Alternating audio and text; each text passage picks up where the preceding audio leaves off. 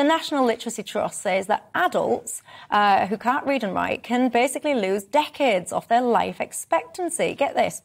About 9 million people in Britain are functionally illiterate. One in 10 uh, apparently have some form of dyslexia. Goodness me.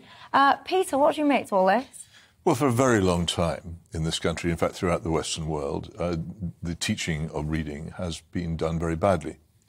And Michael Rudolf Flesch, an American, wrote uh, 60 years ago now a, a, a, very successful book called Why Johnny Can't Read, in which he explained very simply how in America what had happened is the teachers had stopped using the basic effective method of reading teaching, which is called synthetic phonics. It sounds very grand. Actually, it's the way my mother taught me to read. It's, it's, it's linking sounds to letters, and it works. And it was tried out also in the Scottish uh, county of Clackmannanshire uh, some years ago and was shown to be much more effective. But teachers don't like it.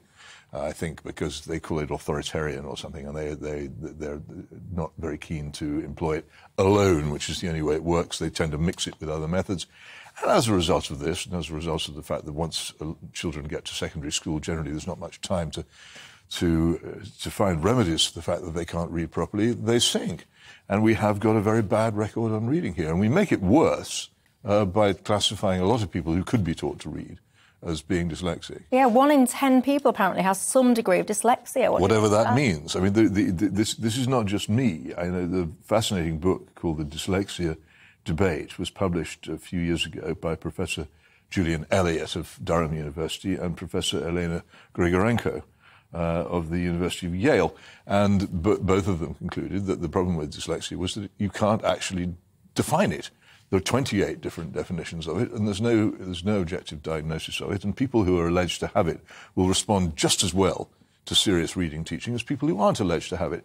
Personally, I think it's, uh, I, it's often said, people say, well, uh, if you're, if you can't read, people think you're thick. Absolutely not. There's no connection between intelligence and, and not being taught properly. But a lot of people do. You can be very intelligent, and, and if your teacher has not taught you to read properly, you won't be able to read. Doesn't matter how intelligent. There's no connection at all. Oh, by it's the all way, to do with, with, with, with reading, teaching, and then and then very urgent necessity to reform our schools so that it's done properly again.